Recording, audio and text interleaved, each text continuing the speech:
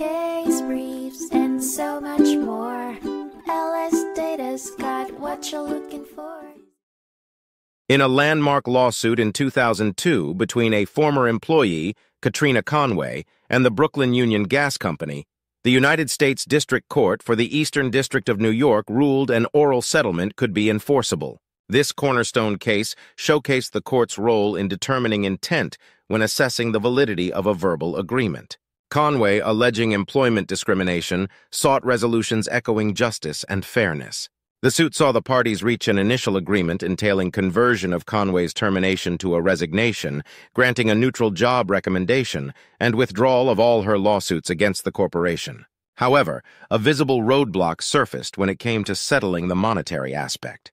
Sensing feasible resolution, the court recommended a sum of $40,000, an amount initially accepted by Conway before retracting and demanding an increased settlement. Reacting to Conway's surprising retraction, the Brooklyn Union Gas Company sought the court's intervention to enforce the initial settlement agreement, which included an appeal to restrict Conway from filing further lawsuits. Relying on the Winston test to determine intent, the court held that an oral settlement agreement was just as binding as a formal written one, with no conclusive evidence suggesting that the parties involved had conditioned their agreement to be bound to a written format. The court supported the gas company's motion to enforce the settlement, basing its decision on the apparent authority and mutual agreement provided by Conway's attorney.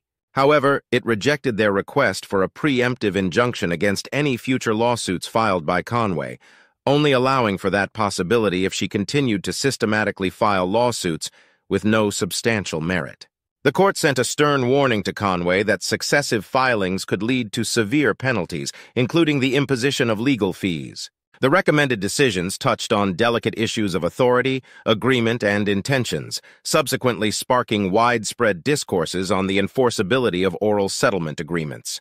This case set precedents for future legal proceedings involving oral agreements. Case briefs, and so much more. LS Data's got what you're looking for. Visit lsd.law, elevate your mind. Leave the stress of class.